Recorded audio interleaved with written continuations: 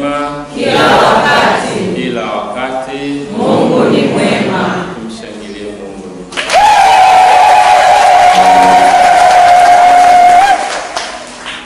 Leo tunasherekea sikukuu ya moyo safi wa Mama Bikira Maria, na ndiyo wazo letu kuu la leo, kwa kuwa huyu ni mama wa kanisa na ni mama yetu pia, anatufundisha pia na sisi kuwa na moyo safi kwa maisha yetu yote, na tunapoendelea kuishi na sisi ambao ni Wakristo wa Katoliki tunajua tumebatizwa, na kwa kubatizwa kwetu, maana yake hatubatizwi tukaacha hivi hivi, tunabatizwa tunapewa utume, na utume wenyewe tunaopewa ni wa kumbeba Kristu na kumpeleka kwa watu.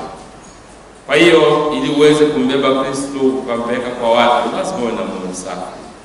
Napoongea moyo safi, ni kuwa na neema ya utakaso ndani yetu, ambayo kwayo inaendelea kutupa hadhi sisi ya kuwa mahekalu ya Roho Mtakatifu, na mahekalu hayo ndiyo Mungu tunambeba ndani yetu, kwamba kwa kuja Mungu kwetu, basi na sisi tumekuwa Mungu kwa neema na kwa upendo wa Mungu. Na hivyo ndugu zangu, tunaposherekea sherehe ya wa Mama Bikira Maria, sisi wana wa Fatima, tuendelee kutafakari upendo wa Mungu kwetu pasipo mastahili yetu, na kwa maneno mafupi ni kwamba tumependelewa mno, na ni kwa neema ya Mungu tuko hivi tulivyo, na hivyo tunapaswa kuwa watu wa shukrani. Basi ndugu zangu, somo letu la kwanza linaeleza namna ambavyo Mungu ameumba na kuwaumba hao watu walioweka hapo bustanini, na baadaye wametenda dhambi. Katika hali hiyo basi wamepewa wajibu wa kufanya kwa maisha yao pia, na imeenda mbele kwa upendo wa Mungu, kwamba Mungu anaendelea kututafuta kila siku, pamoja na kwamba tunatenda dhambi, tunakaa mbali, wakati pia tutaki kuwa karibu na Mungu, kujiambia mambo yetu si wenyewe, lakini Mungu bado anatafuta. Na hivyo somo letu la kwanza kutoka kitabu cha Mwanzo liendelee kututafakarisha kwa maisha yetu, waliposema kwamba hawana nguo na sisi pia hatuna nguo kiroho. E, kimwili sawa, tunajua hilo, lakini tafakari kubwa ya kiroho kwamba hatuna nguo, tuko uchi. Manake roho zetu ziko uchi kwa sababu ya dhambi, na hivyo tunaalikwa kutii yale ambayo Mama Bikira Maria baada ya kuwatokea watoto wa Fatima, ambayo tunapaswa kuendelea kuyafanya ili kuendelea kujivisha nguo kwa neema hiyo ya Mungu, na tutaweza kujivisha nguo kwa neema ya Mungu kwa kudumu katika sala. Kwa sisi wana utume wa Fatima, ili tuwe wabeba Kristo, ili tuwe na moyo safi, lazima tujitahidi kuwa watu wa sala na mfano mzuri tunaona kwa mama yetu Bikira Maria, ambapo katika safari ya ukombozi tangu mwanzo amepewa taarifa kwamba amechukua mimba kwa uwezo wa Roho Mtakatifu. Mama kwa imani, kwa upendo wa Mungu amepokea neno hilo, na hivyo safari yake yote mpaka Bwana Yesu Kristo anafufuka ni safari ambayo na sisi pia tunapaswa kutembea katika safari hiyo, katika hija hapa duniani. Najua safari yetu. Tunatoka duniani tunafika mbinguni, na hivyo duniani tunapita, nyumbani kwetu ni mbinguni, na kama nyumbani kwetu ni mbinguni, basi tunaendelea kumwangalia mama yetu Bikira Maria kama kielelezo, kama mwalimu, kama kioo, kwamba mama alikuwa mtu wa sala, na hivyo na sisi pia tujitahidi kusali, lakini zaidi zaidi ya kusali ni kuwa watu wa imani. Tunapoongea juu ya sala, wakati mwingine kama binadamu tumejikuta tunataka kuongozwa na akili zetu na uzoefu wetu ndani ya mazingira tuliyonayo, kwamba kusali ninaweza kusali tu, sio lazima nifungue mdomo, lakini naweza kusali hata kimya kimya. Lakini hata kusali kimya kimya inaweza kafika wakati mazingira ya kusali yakakurubuni kama Mkristo kusali kwa mazoea, na hadithi ambayo pengine mnaifahamu mara kwa mara tumekuwa tukieleza. Sasa kuna ndugu mmoja alikuwa anaendelea kusali, baadaye akatoka kusali hivi akiwa ametulia. Sasa basi nitaiandika sala, nitakuwa nasoma. Baada ya kufanya ishara ya msalaba, naona nachoka kwa sababu shughuli nyingi, sasa mambo mengi, muda mchache. Basi akaendelea hivi. Baada ya muda akasema, hata hicho kilichoandikwa nashindwa kukisoma kwa nimechoka. Naona bwana, hivi vitu vilivyoandikwa Mungu unajua mimi na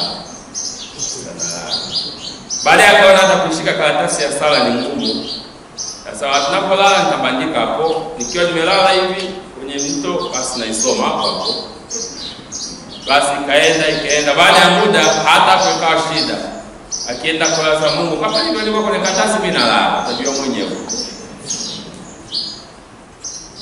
Ni uvivu ambao ni tunda au zao la shetani katika kukwepesha kusudi la mwanadamu kukutana na Mwenyezi Mungu.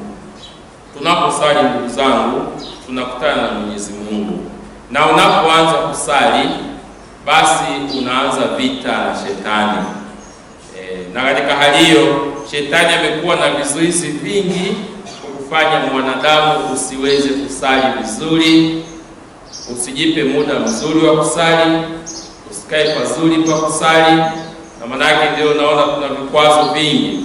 Unajiandaa kusali jioni na familia, basi vinakuja vikwazo vingi, mara umeme umekatika, mara mvua inaanza kunyesha, mara sijui kuna mgonjwa, mara ninauma tumbo, mara sijui nini. Visa ni vingi vya kufanya tu msisali kwa pamoja. Na hata ingekuwa mwenyewe unasali, basi wakati mwingine vikwazo ni vingi, mara kichwa kinauma, mara nimechoka, mara mambo mengi, na mtaona mkianza kusali rozari usiku, na mbaya zaidi kasema kwamba ngoja nijiegeshe kidogo niendelee kusali, najikuta rozari kwa miguuni saa nane na nusu naamka, naenda pengine osho. Yaani ni mpango wa shetani kwamba usipige magoti kusali, na unapoanza kusali hata chumbani unajikuta unasinzia. E, shetani apendi aone wewe unasali na kuwa na ushindi katika hali hiyo. Kwa hiyo tuna vita ndugu zangu, na ndiyo somo letu la kwanza, anasema ataweka uadui na huyo shetani. Kumbe kazi yetu ni kumwomba mama yetu bikia Maria atuombee kwa Mungu ili tuwe na ustahimilivu, kuwa na nguvu ya kuendelea kusali kwa bidii na kwa imani.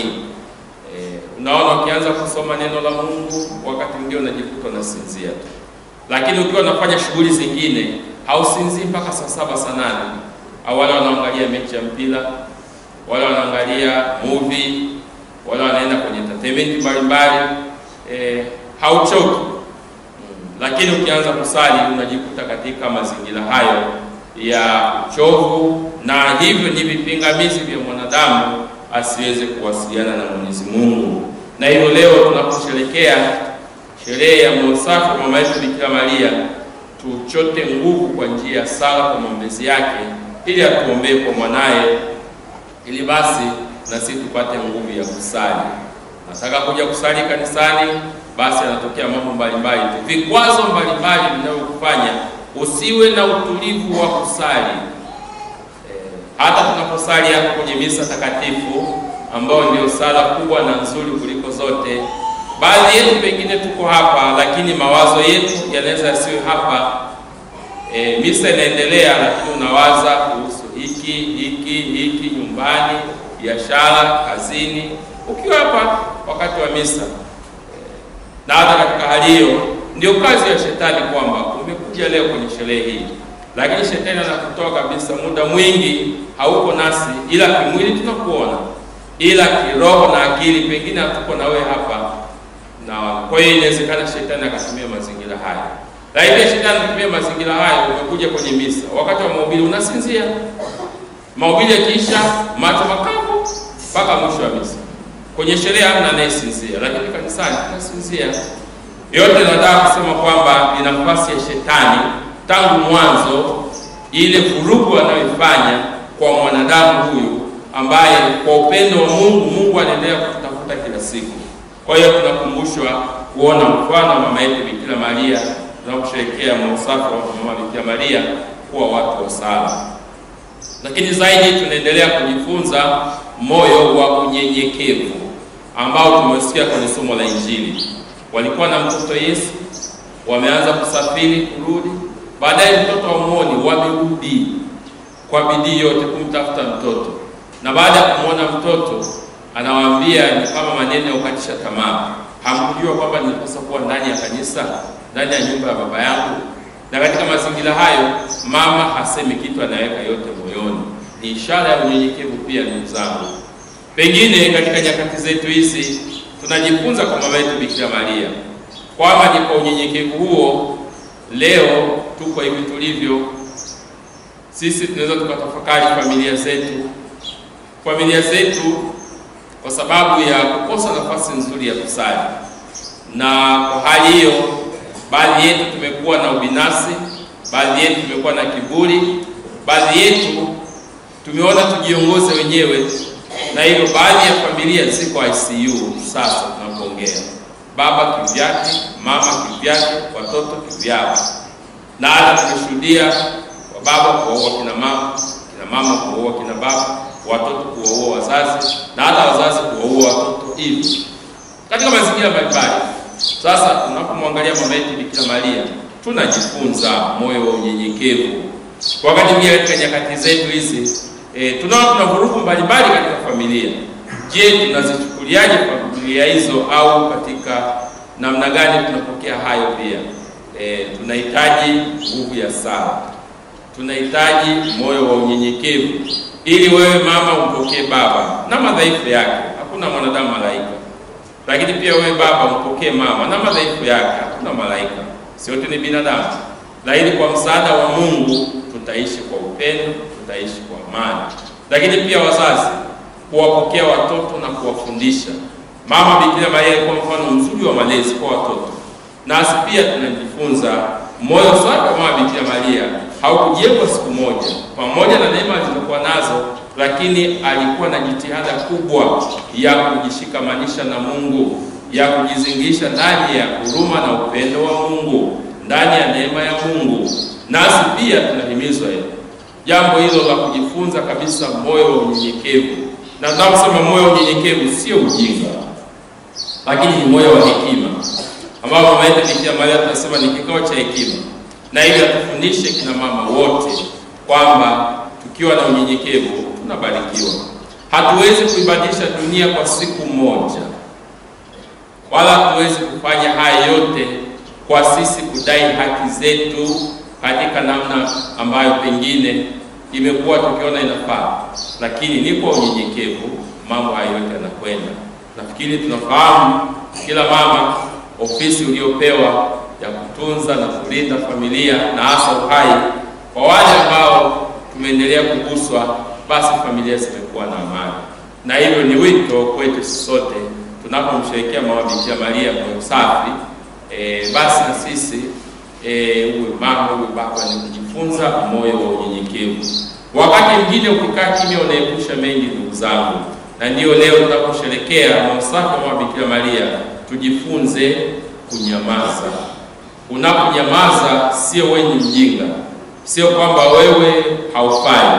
Unaponyamaza unaongea kiroho, maanake mdomo unaponyamaza roho inaongea, na ndilo leo tunaendelea kufundisha. Mama Bikira Maria hakuongea mengi, lakini aliongea mengi kwa matendo eh, yaani katika ukimya unaongea, na ndio leo tunajifunza leo katika ukimya wetu. Sisi kama binadamu, sisi kama Wakristo wa Katoliki tuongee kwa njia ya sala.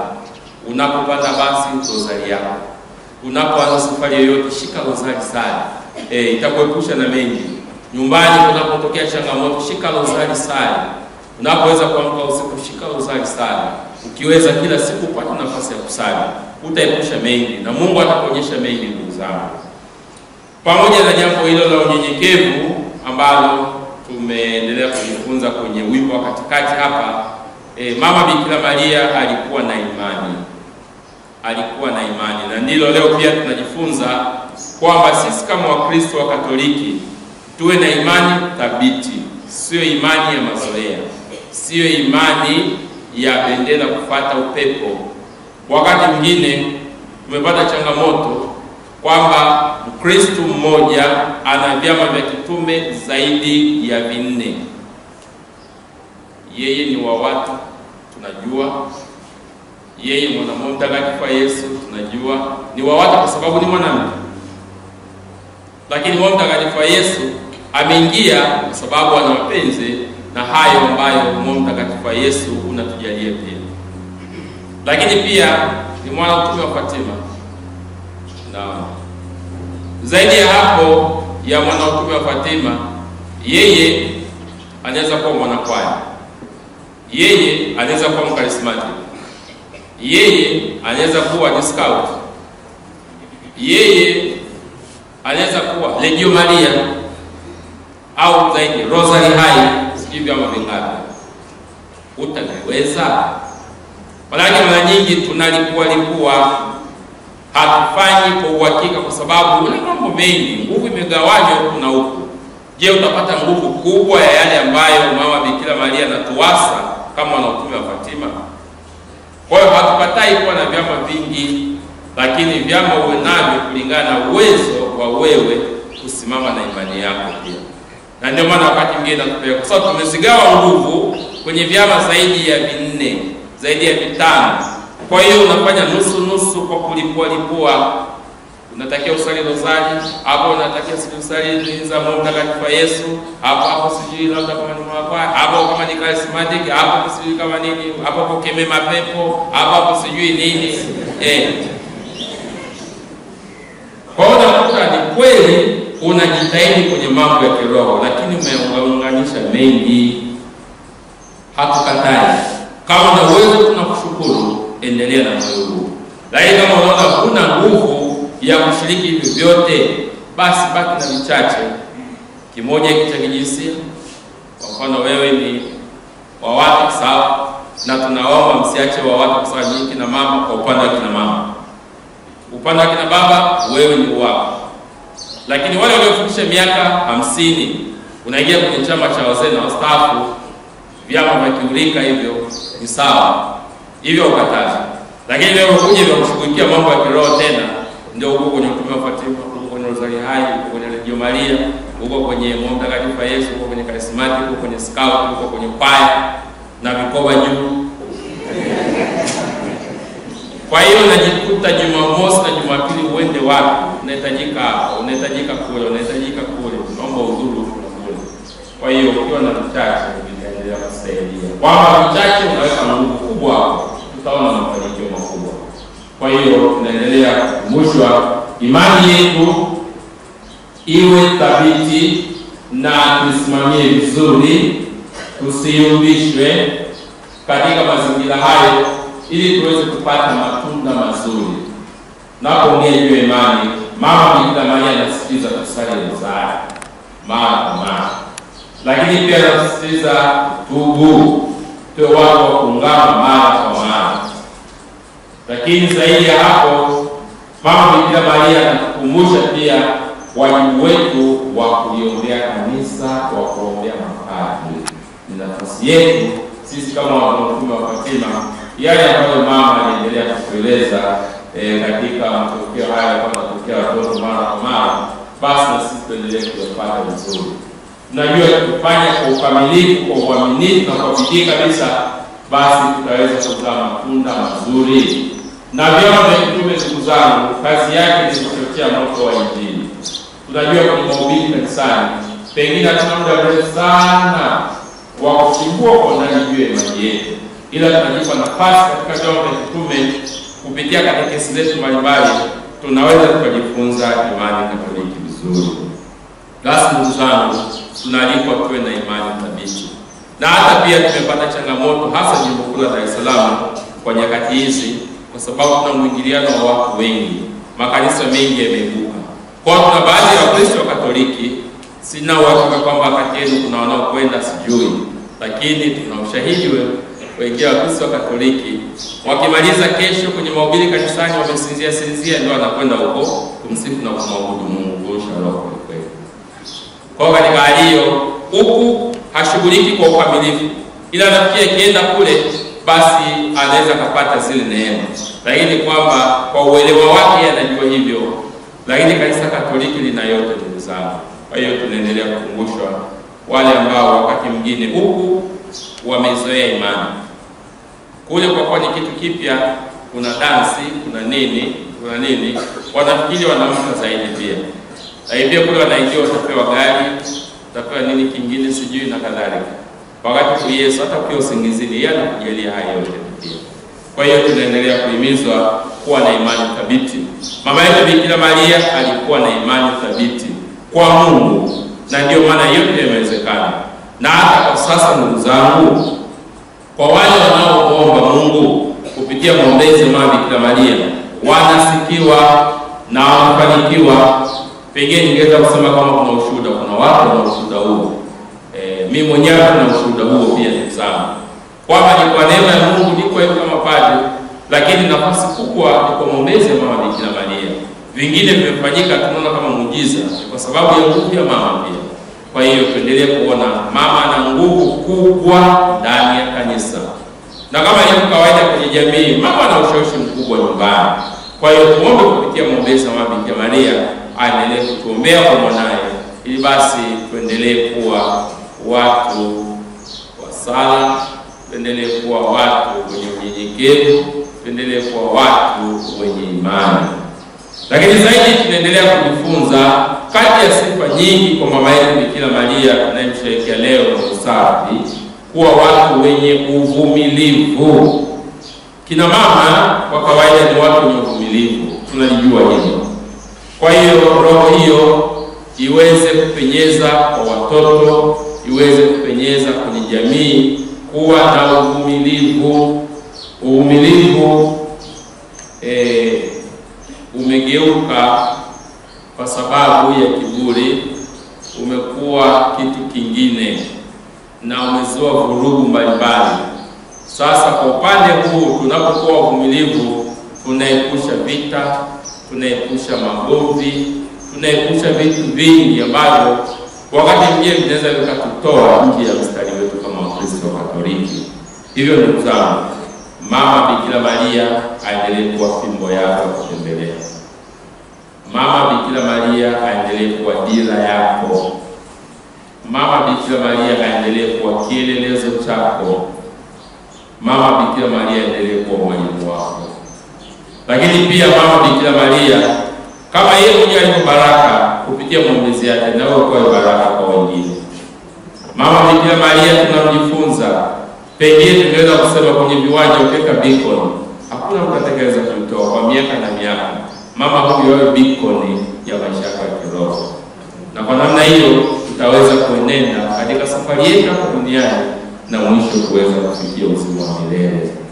Wapendwa ndugu zangu, tunapotafakari na kusherekea lei ya mama yetu Bikira Maria, moyo safi wa mama Bikira Maria, wale tunaofahamu historia kanisa lakini majifunzo au mafundisho ya kanisa, tuna sherehe mbili kubwa ya mama Bikira Maria kukingiwa dhambi ya asili ambayo tunaifanya tarehe nane mwezi wa kumi na mbili, si ndio hivyo jamani?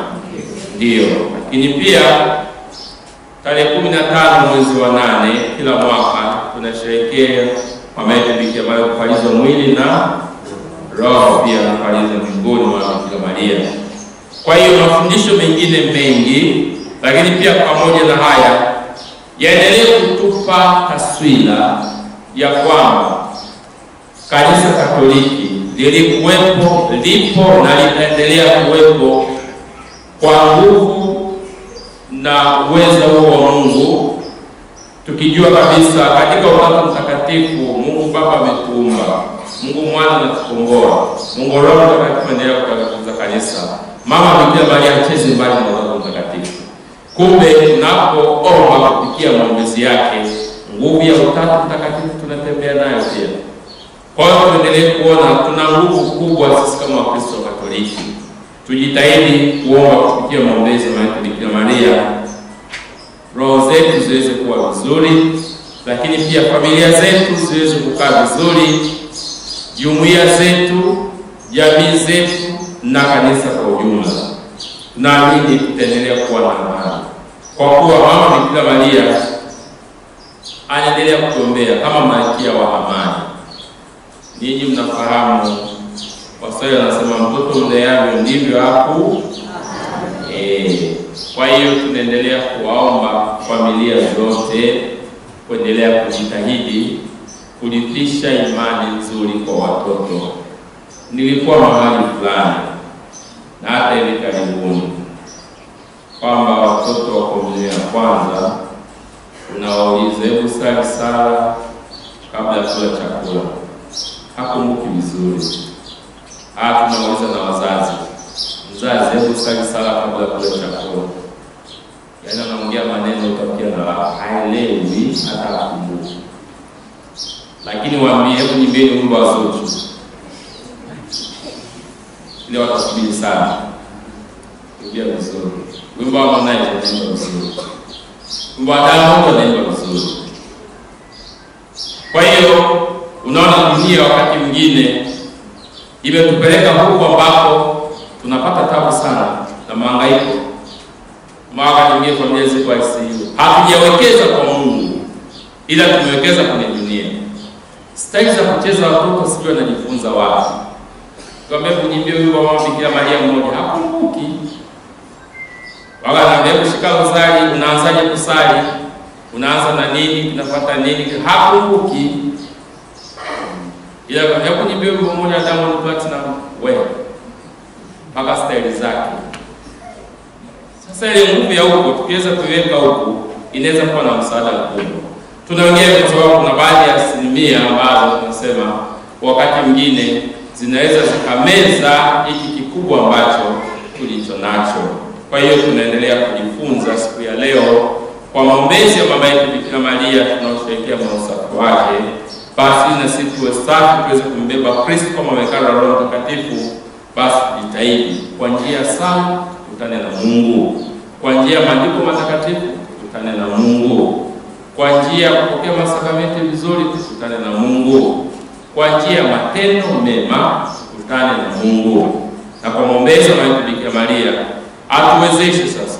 Kupitia maandiko haya igeuke kuwa sala na igeuke kuwa utume, na hivyo tunabatizwa na tunaweza kutumwa. Mama Bikira Maria alifanya kazi kubwa ya uinjilishaji, na wewe uwe mwinjilishaji namba moja. Kama yetu Bikira Maria alikuwa mwinjilishaji. Ukishakuwa mwinjilishaji, ili uendelee na kazi hiyo hadi nimesema lazima uwe mtu wa sala, lazima uwe na mnyenyekevu, lazima uwe mtu wa imani, lazima uwe na uvumilivu. Zaidi ya hapo ya uvumilivu, basi kuendelea kujitahidi kujifunza kila siku kile ambacho Mungu anataka tukifanya, na kwa namna hiyo tutakuwa watu wa amani. Mama Bikira Maria malkia wa amani, aendelee kujalia kila mmoja wetu kwa maombezi yake, basi kuwa watu wa amani. Tumwombe Mwenyezi Mungu siku ya leo tunaposherekea, tuendelee na siku na moyo safi, kwa kuwa Mungu ametuchagua sisi ni kwa mapenzi yake, si kwa mastahili, na ni kwa huduma yake na upendo wake umechaguliwa huko hivyo hivyo. Kwa hiyo hivyo hivyo, kwa neema ya Mungu, Mkristo mwenzangu, endelea kumwomba Mungu akusaidie kufanya kazi ya uinjilishaji, kumbeba Kristo kila siku, ili basi ukombozi ule ambayo Kristo amekuja kukomboa, ukombozi wa jumla, uendelee kutupa nguvu kila siku tuendelee kufanya ukombozi binafsi, tuendelee kumpeleka Kristo kwa watu kupitia huduma zetu, kupitia shughuli zetu, kupitia yote tunayofanya, tuinjilishe kama mama yetu Bikira Maria alivyokuwa mwinjilishaji. Tumsifu Yesu Kristo. Amina.